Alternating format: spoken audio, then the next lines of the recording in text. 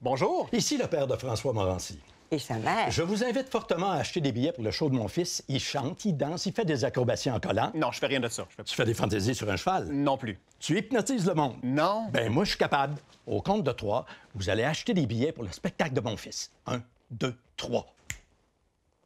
Et voilà. François Morancy à la Place des Arts le 7 juin et en tournée partout au Québec. Billets en vente sur evenco.ca.